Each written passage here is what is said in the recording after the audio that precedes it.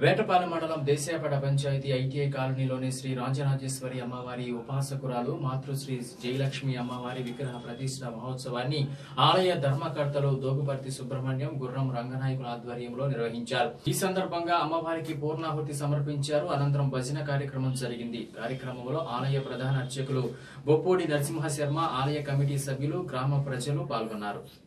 సందర్భంగా ఈరోజు మాతృశ్రీ జయలక్ష్మి అమ్మవారు విగ్రహ ఆవిష్కరణ మహోత్సవ కార్యక్రమం జరుగుతున్నది జరిగి ఉన్నది భక్తుల చోటు చేత.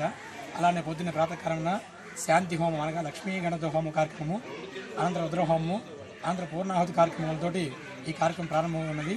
మాతృశ్రీ జయలక్ష్మి అమ్మవారు ఎంతో భూత భవిష్యత్తు వర్తమాన కాలతీతటువంటి సాక్షాత్గా మాతృ దైవాంశ సముద్రాలు రచనావళి అనే కార్యక్రమంలో చక్కగా చెప్పి ఎంతో మంది భక్తులు కూడా ఆకర్షితులై ఎంతో కోరిక కోరికను తీర్చుకున్నటువంటి గొప్ప శక్తి అనమాట ఆమె.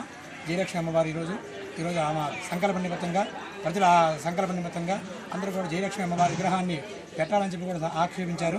ఆ ఉద్దేశంతో కమిటీ వాళ్ళు గ్రామస్తులందరూ సహకారంతో ఈ యొక్క కార్యక్రమాన్ని వాళ్ళ కుమారులు రాజేంద్ర మౌళి గారి సర్వేని దంపతులతో ఈ యొక్క కార్యక్రమము దోగిపతి సుబ్రహ్మణ్యం గారి కమిటీ వారి సమక్షంలో రంగనాయక సమక్షంలో ఈ యొక్క మాతృశ్రీ జయలక్ష్మి అమ్మవారి యొక్క కార్యక్రమాన్ని ఆవిష్కరణ కార్యక్రమాన్ని చక్కగా చేయడం జరుగుతుంది.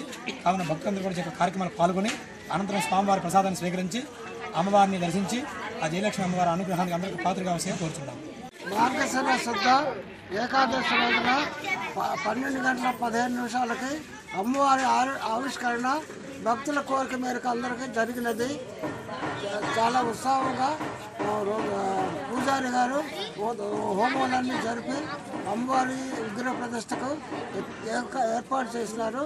భక్తులందరూ కూడా వచ్చేసి ఆ అమ్మవారిని దర్శించి పాలాభిషేకం చేసి అన్నదానము స్వీకరించవలసిందిగా కోరుతున్నాము.